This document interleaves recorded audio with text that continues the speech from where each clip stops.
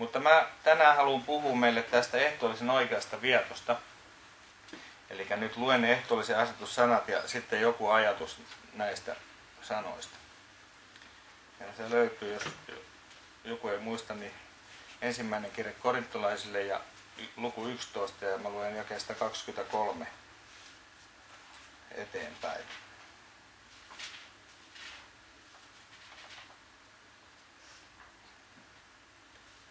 Olen saanut Herralta sen, minkä olen myös antanut teille tiedoksi, että Herra Jeesus sinä yönä, jona hänet kavallettiin, otti leivän, kiitti, mursi ja sanoi, tämä on minun ruumiini, joka annetaan teidän puolestanne.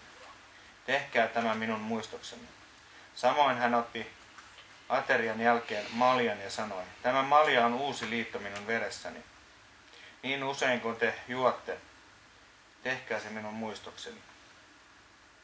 Niin usein kun te syötte tätä leipää ja juotte tästä maljasta, te julistatte Herran kuolemaa, kunnes hän tulee. Joka kelvottomasti syö tätä leipää tai juo Herran maljasta, tekee syntiä Herran ruumista ja verta vastaan.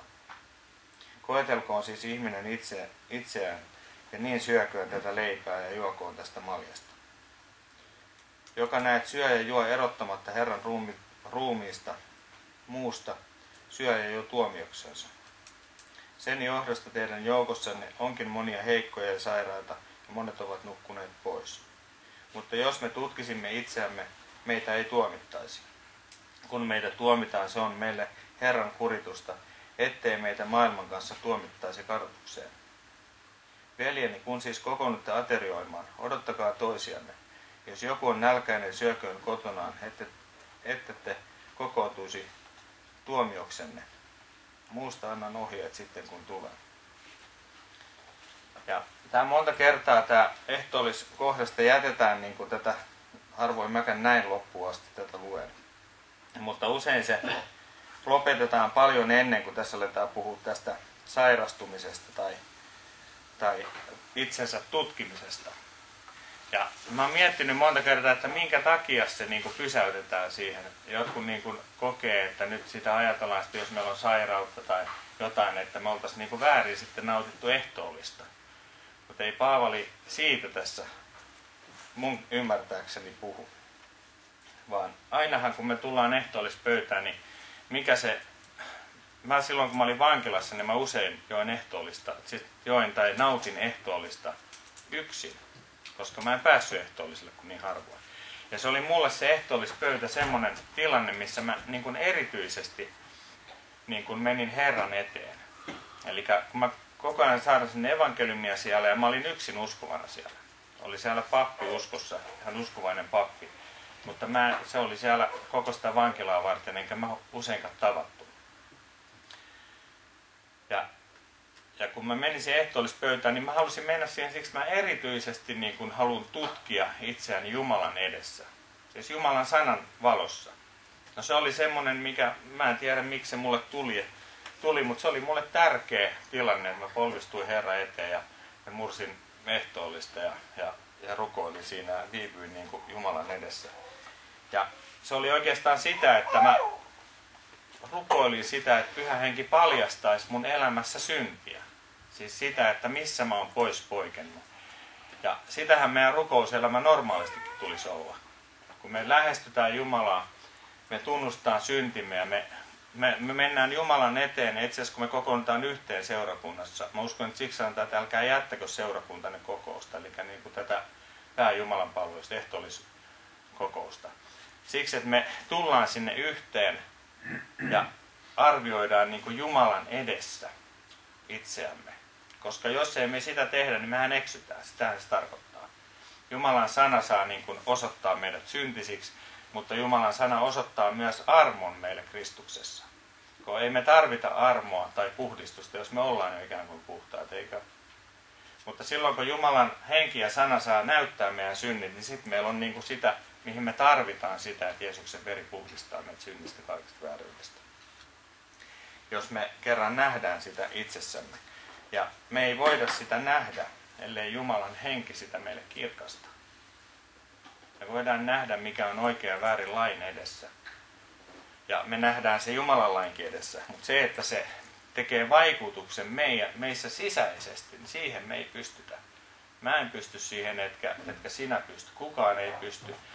Se, semmoinen saarna, mikä on ilman henkeä, niin se voi ajaa ihmiset niin kuin tämmöiseen syyllisyyteen ja niin kuin tämmöiseen moraalisaarnan kautta niin kuin tehdä syyllisiksi, mutta se ei vapauta ihmistä.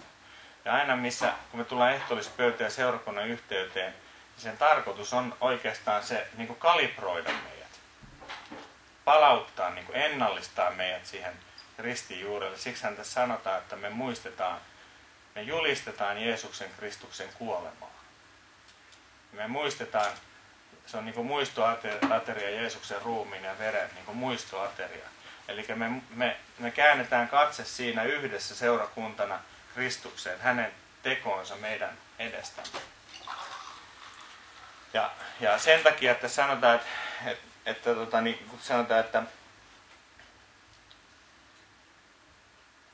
mä aloitan vähän niin kuin täältä, täältä väärinpäin sen, oikeastaan oikeinpäin, mutta tässä mitä luettiin, niin ne ei väärin. Tässä on lopussa vasta siitä itsensä koettelemisesta ja tutkimisesta. Eli me aloitetaan niin näistä jakeista taaksepäin. Ja ensin tulee tämä, tässä sanottiin, että jos me tutkisimme itseämme, ei meitä tuomittaisi. Eli jos me kuljetaan ehtoollispöytään, me kuljetaan kristittyinä, siis sillä suruttomasti, että me ei niin kuin ollakaan, me ollaan vaan kristittyjä ja eletään, niin yksi päivä me ollaan tuomiolla, jos me eksytään. Siis kysymys on koko ajan siitä, että, että Jumala tahtoo johdattaa meitä Kristuksen seurassa, hänen yhteydessä, niin kuin parannuksessa. Ei niin, että olen mato matkamies maan ja teen koko ajan niin kuolema on surkeamman näköinen ihminen, koska on kristitty. Vaan, vaan niin, että, että meillä on ilo niin kuin Herras hänen läsnäolossaan, koska vaikka, vaikka me näemme oman niin kuin heikkoutemme ja syntisyytemme, mutta me nähdään myös se, että Jeesuksen veri koko ajan puhdistaa meitä ja hänessä me ollaan täydelliset. Eli meillä on semmoinen oikeanlainen nöyryys siinä vaelluksessa, miten me eletään. Silloin me ollaan myös sen heikomman veljen tukena, tai me voidaan mennä sairaalaan tai, tai mihin vaan tilanteisiin, koska me itse tiedetään niin kuin se meidän oma tilamme. Mutta se, miksi me kuljetaan näin, niin me mennään Jumalan voimassa. Ja meillä on sanoma Jumalan armosta ja rakkaudesta. Mä ajattelen, että jos Jumala silmän räpäyksessä muuttaisi meidät täysin terveiksi ja, ja voi, meistä tulisi niin kuin, vähän niin kuin yli-ihmisiä, kun me tultaisiin uskoon, niin mä epäilen, että meitä vähemmän kiinnostaisi kulkea jokirannoissa tai kadulla etsimässä muita ihmisiä. Mä luulen, että me silloin täysin terveinä ja, ja pyhinä, niin meitä ei kauheasti kiinnostaisi tämä syntinen maailma. Mutta niin kauan kuin meillä on itsellä kosketuspinta siihen, niin me ollaan vapaat siitä. Koska me ollaan vapauttu synnin orjuudesta Jeesuksen ristiin kautta. Se synti ei enää voi meitä määrätä tai käskeä tai pakottaa. Se on meidän oma valinta tänä päivänä kristittyjä, jos me mennään syntiin. Ja siihen tietenkin se ei ole ihan näin yksilitteistä, mutta kuitenkin siellä sanotaan, että hän on vapauttanut meidät. Ja myös totuus tekee vapaaksi, eli kun me tutkimme itseämme, niin me löydetään niin kuin se vapaus, mihin me ollaan kutsutut.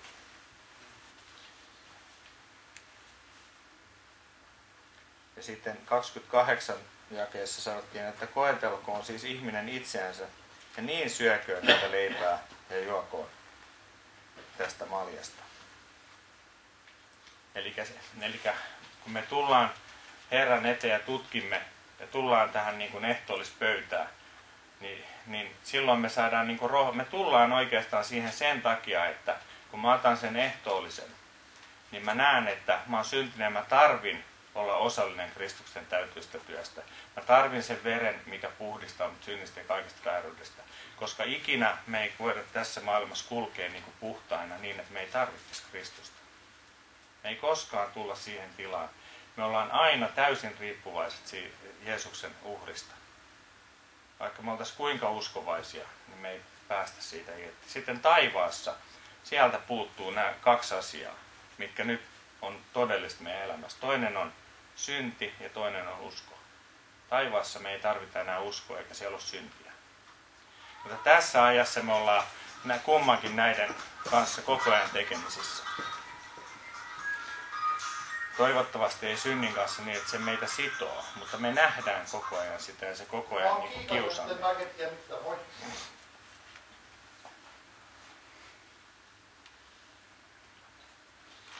Sitten täältä toinen korintolaiskirja ja 13,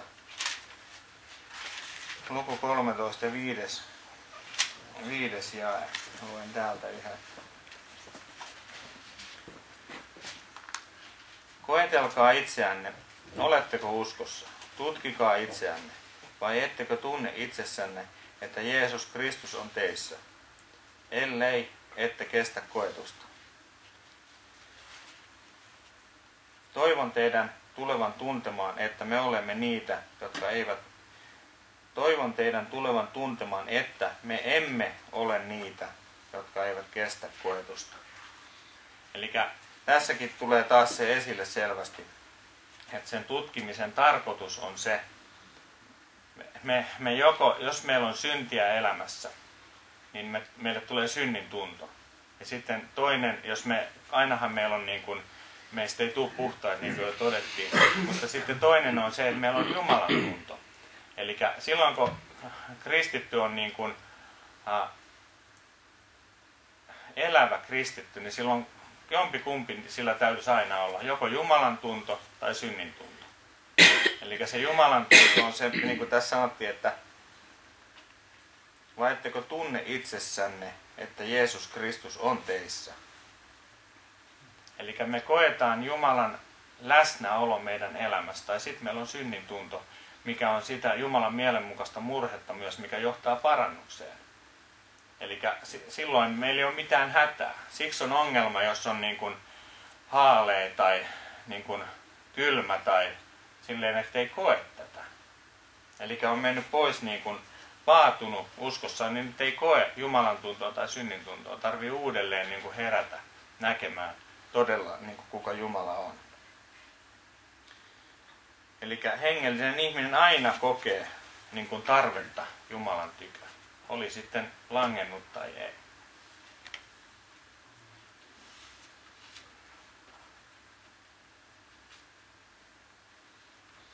Ja hänen kanssaan, Jeesuksen kanssa, me kestetään kaikki meidän koetukset.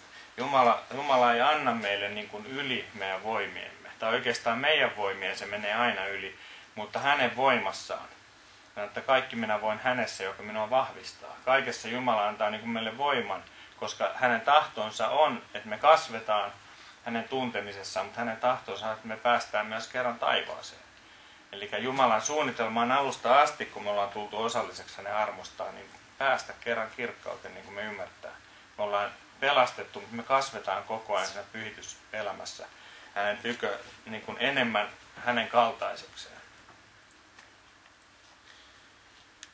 Sitten tota, niin, toi, toisena kohtana on, mistä jo mainitsin kanssa tuossa jakeessa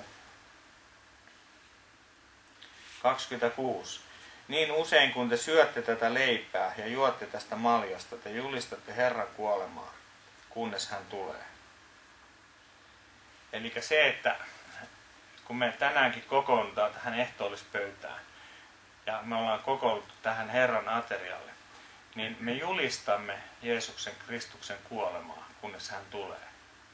Eli mitä se, niin kuin, mitä se mulle voisi tarkoittaa henkilökohtaisesti, kun mä tutkin itseäni mä, ja saan Jumalan edessä tunnustaa syntini ja, ja, ja kokea myös, että miksi mä julistan Jeesuksen kuolemaa.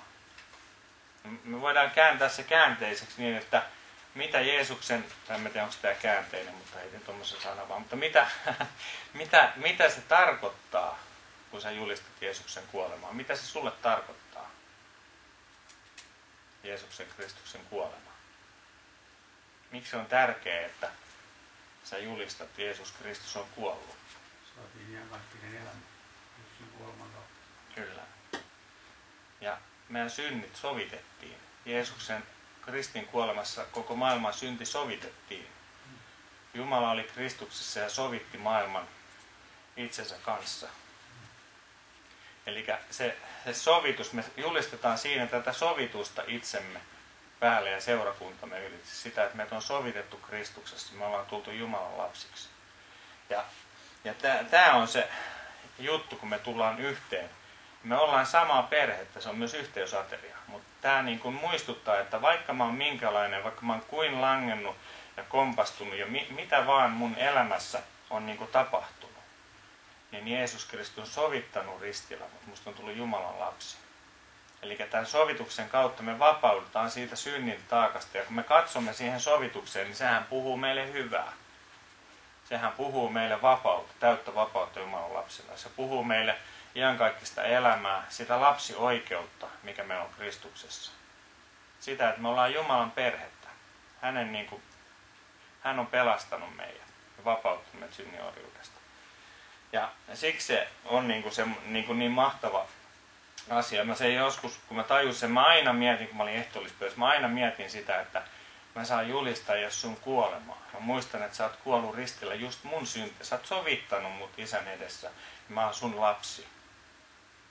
Ja, ja se, se on ollut niin kuin mulle semmoinen aare löytö silloin joskus.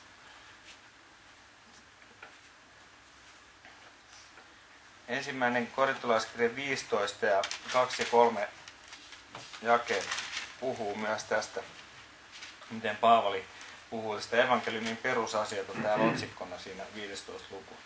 Mutta jae kaksi. Sen kautta te myös pelastutte, jos pidätte siitä kiinni sellaisena kuin minä sen teille julistin. Ette te ole turhaan uskoneet. Minä annoin teille tiedoksi ennen kaikkea. Nyt mä muistin sen, mitä se Turunen sanoi siinä ja mikä on aikaisemmin ollut. Eli se, että, se, että me uskotaan Jeesukseen, me ei niin kuin, oli meidän synnit kuinka isoja vaan tai ikään kuin kuinka suuri. Me ei uskota, niin kuin, että me ei miettä, että voiko Jumala antaa näin ison synnin anteeksi. Vaan me uskotaan Jeesukseen Kristukseen, joka on sovittanut kaikki synnit. Me ei, me ei niin mitata synnin määrää, että no toihan saa varmaan ton anteeksi, kun se vaan tikkuaskin pölli pienenä tuolta kaupasta. Tai toi ei saa, kun se otti kaljakorin ei, ei me niin kautta, vaan, vaan Kristus Jeesus on se meidän, se häneen me katsomme, hän sovitti kaikki synnit. Eli me ei niin kuin, mittailla, että me ei uskota niin kuin, siihen syntie, synnin, synnin anteeksaaminen, vaan me uskotaan Jeesukseen Kristukseen, jossa me ollaan saatu kaikki synnit anteeksi. Me voidaan helposti eksyä siihen mittailemaan sitä synnin määrää ja sitten saada siitä tai ei saada anteeksi. Sen kautta te myös pelastutte, jos pidätte siitä kiinni sellaisena kuin minä sen teille julistin. Ellette ole turhaan uskoneet. Minä annoin teille tiedoksi ennen kaikkea sen, minkä itse olin saanut. Kristus kuoli meidän syntiemme tähden kirjoitusten mukaan. Hänet haudattiin, hän nousi kuolleista kolmantena päivänä kirjoitusten mukaan. Ja sitten se jatkuu, miten Jeesus näyttäytyi ylösnousemuksen jälkeen monta kertaa opetuslapsille. Mutta se, että sanotaan, että te pelastutte, jos pidätte kiinni siitä evankeliumista. Eli Kristus kuoli, haudattiin, nousi ylös ja nyt hän elää. Se on se evankeliumi, millä me pelastumme. Siihen me ei voida laittaa mitään lisää. Se, se on vaan tämä yksinkertainen asia. Tähän uskomalla me pelastumme. Siinä ei, tarvitse, siinä ei ole mitään tekoja, eikä mitään semmoisia, mikä niin muuttaisi sitä. Kato, Werneri heräsi. Hyvä. Siinä ei ole mitään, tota, niin, mitään semmoista, mitä me voitaisiin niin vähentää tai enentää sen evankeliumin voimaa.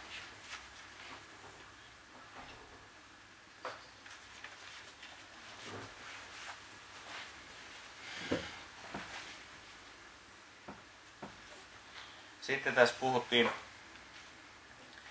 jakeessa 24 ja 25. Tämä on minun ruumini, joka annetaan teidän puolestanne. Tehkää tämä minun muistokseni. Ja sitten samoin hän otti aterian jälkeen maljan ja sanoi, Tämä malja on uusi liitto minun veressäni, niin usein kuin te juotte, tehkää se minun muistokseni. Watchman niin opettaa tästä mun mielestä hyvin. Ja se puhuu siitä sovitustyöstä, niin kuin ristillä, kun me Jeesus, mä oon miettinyt joskus sitä, että miksi siinä pitää olla se ää, uhri, mikä annettiin Jeesuksen liha ja miksi siinä pitää olla veri. Et miksi se pitää olla tämä liha ja veri? No okei, no kummatkin kyllä, jos liha uhrataan, niin varmasti siinä verikin vuotaa. Mutta mä yritin sitä pohtia joskus ja mun mielestä Watchman niin sanoo hyvin siihen, kun se puhuu siitä, että ristillä meidät sovitettiin. Eli se meidän vanha ihminen, syntiin langennut ihminen sovitettiin, siksi se meni ristille. Siinä, siinä se liha kannettiin ristille, eli ruumis. Jeesus tuli ihmiseksi ja otti kantaakseen koko ihmiskunnan synnin. Koska hän tuli synniksi, tuli ihmiseksi ja tuli synniksi meidän teostamme. Mutta siitä perisynnistä, eli mikä Aadamista lähtien se lankeemus ollut. Ja sillä synnin orjuus voitettiin, sillä synti sovitettiin maailmassa. Ja sitten se veri, kun se vuoti, niin Watchman niin selitti sen jotenkin tälleen, en muista oliko se just näin. Se ajatus oli se, että tämä veri niin kuin, on meidän tekosyntien. Me jatkuvasti niin kuin, kristittyinäkin, niin me ollaan ajatuksin sanoin, että on monella tavalla me kompastutaan. Ja tämä veri puhdistaa siitä meidän synnistä, mitä me uskovina tehdään edelleen. Eli siksi me tarvitaan joka aika Jeesuksen veripuhdistusta. Niin kuin siellä sanotaan, että pyhän hengen pyhittämisen kautta meitä on kutsuttu Kristuksen kuuliaisuuteen ja hänen verellään vihmottaviksi. Eli se sovitus on kertakaikkinen tapahtuma, missä me uudesti synnytään. Meistä tulee Jumalan lapsia, kun me saadaan uskossa ottaa vastaan. Ja tämä veri on taas, kun me kuljetaan, niin me joka aika tarvitaan sitä veren puhdistusta meidän elämässä. Mä luen täältä hebrealaiskirjasta siihen vielä muutama jakea.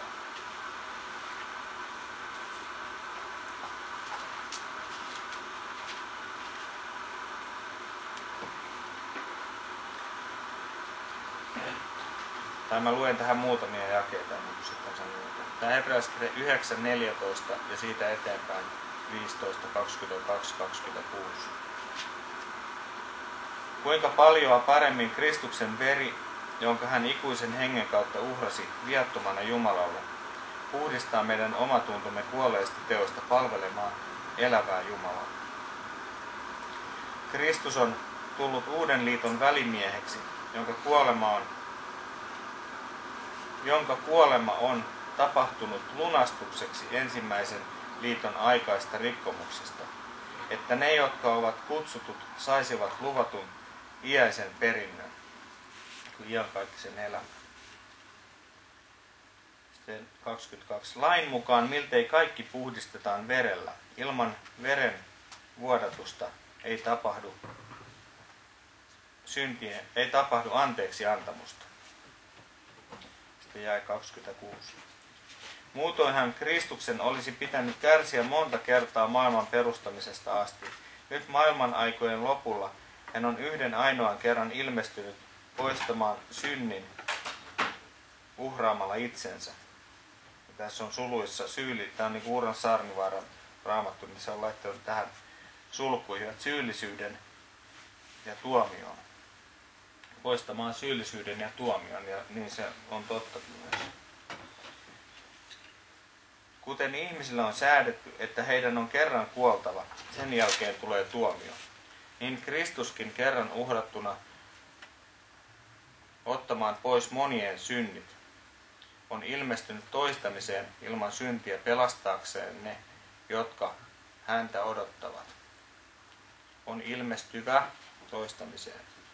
Eli me odotetaan Jeesuksen tulemusta. Joillekin se on tuomioksi ja meille, jotka uskomme, se on pelastukseksi. Sitten vielä tästä, muutama jäi vielä tästä 10, hebrealais 10 9-14. Sitten hän sanoo, minä tulen tekemään sinun tahtosi. Hän poistaa ensimmäisen asettaakseen tilalle toisen. Tämän tahdon perusteella meidät on pyhitetty Jeesuksen Kristuksen ruumiin uhrilla kerta kaikkiaan. Kristus sitä vastoin on uhrannut yhden ainoan uhrin syntien tähden ja ainiaaksi istuutunut Jumalan oikealle puolelle. Hän odottaa nyt vain, kunnes hänen vihollisensa pannaan hänen jalkojensa astin laudaksi. hän on näet yhdellä ainoalla uhrilla ainiaaksi tehnyt täydelliseksi ne, jotka pyhitetään. Eli tämän uhrin kautta, mihin me tänäänkin käydään, kun me käydään ehtoollispöytään, me käydään muistamaan, että Jeesusta Kristusta tullaan osalliseksi hänen lihastaan ja hänen verestään. Ja sanotaan, että kun me ollaan osallista ja uskotaan tähän Kristukseen, niin tässä sanottiin, että yhdellä ainoalla uhrilla ainiaksi tehnyt täydellisesti ne, jotka pyhitetään.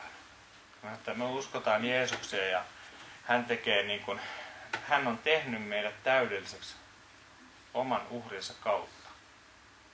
Hänessä me ollaan saatu synnit anteeksi ja uusi elämä. Ja hän on sen uskon täyttäjä, mikä meillä on. Hän tekee sen kaikessa meidän elämässä täydelliseksi. Ja tähän Jeesukseen me saadaan tänäänkin laittaa kaikki toivomme ja turvamme. Ja Raamattu sanoo, että se, joka häneen laittaa toivonsa, ei häpeästä punastu. Se, että me saadaan niin kuin lähestyä elävää Jumalaa, valtavaa armoa. Me voitaisiin niin kuin aina odottaa Jumalalta erilaisia asioita, miten hän kohtaa meitä ja antaa meille. Mutta kaikki suurinta on mun mielestä se, että, että, että meillä on se toivo hänessä. Meillä on se toivo, meillä on Jumalan sanan totuus. Me luetaan tämä sana täältä ja me voidaan etsiä ihmeitä ja merkkejä, niin kuin sanotaan, mutta kun me julistetaan tätä evankeliumia, niin se ensimmäisenä tämä evankeliumi herättää meissä toivon. Ihan kaikki sen elämän toivon. Se puhuu meille ilosanomaa, että sinut ja minut, joka ollaan oltu synnin orjia tai ollaan synnin orjia, niin Jeesus Kristus on voimainen antamaan synnit anteeksi antamaan voiman elää tämän synnin yläpuolella. Ja se on, se on semmoinen ilosanoma, että se on ihan jokaiselle ihmiselle, jokainen ihminen voi tarttua siihen sanomaan. Ja se tuo sitä iloa ja rauhaa. Mutta me haluttaisiin ihmisinä aina kokea ja tuntea eri asioita. Jumala antaa meille niitäkin, ei se ole mikään huono asia. Mutta ei ripustauduta siihen, vaan siihen Jumalan sanan totuuteen. Mitä hän sanoo. Hän kuoli ristillä, haudattiin, hän on ylösnoussut. Ja jos sä näin uskot, sä pelastut. Se antaa sulle toivon ja se antaa sulle semmoisen perustan elämälle, että kaikissa sun elämän olosuhteissa ja tilanteissa Jumala ei nimittäin lähde pois. Jumala ei jätä sua koskaan, eikä Jumala ei lupaa sulle ikinä mitään, mikä ei toteutuisi. Jos olet jotain semmoisia lupauksia saanut, mitkä ei toteutunut, ne ei ollut Jumalasta. Se, mitä Jumala sanoo, niin se pitää. Niin ei loukkaannuta Kristukseen, vaan odotetaan häntä tulevaksi. Ja tänäänkin me odotetaan, että me saataisiin kohdata häntä. Että tämä toivo ja usko niin saisi lisääntymään itse kunkin kohdalla. Ja tänään myös rukoillaan, jos jollakin on sairautta tai ihan mitä asioita hyvänsä, niin tämän ehtoollisen jälkeen me käydään rukouksia ja rukoillaan, viedään Jumalalle yhdessä näitä asioita. Koska me tiedetään ja me uskotaan, että Jumala kuulee meidän rukouksia. Ja ajallaan hän vastaa myös. Koska Raamattu sanoo, että Jumala ei ole pahan kiusattavissa eikä kiusaa ketään. Ne Jumala on antanut siksi meille niin sitä, että me rukoillaan toinen toistemme puolesta, että meistä vaan hetken tuntuu, että no ehkä Jumala vastaa. Vaan oikeasti Jumala vastaa ja kuulee. Rukoillaan vielä ja sitten asettaa ehtoolle.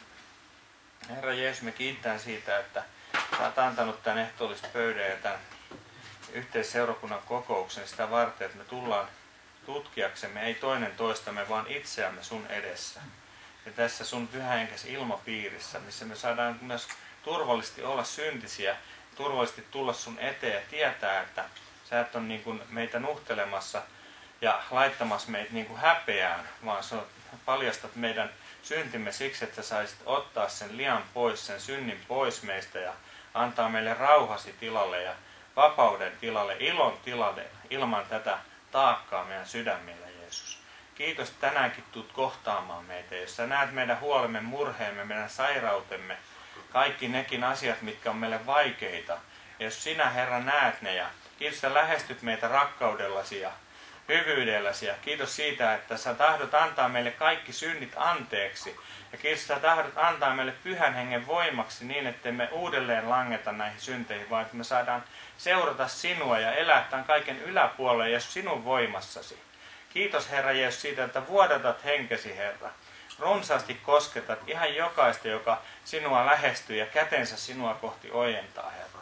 Kiitos Jeesus sanastasi ja kiitos siitä, että se on sinun sana ja se tapahtuu ja toteutuu sun, niin kuin sä oot sanonut. Kiitos, että tuut ilmestymään meille ja olemaan kanssamme. Jää Herra meistä jokaista siunaamaan. Jeesuksen nimessä. Aamen.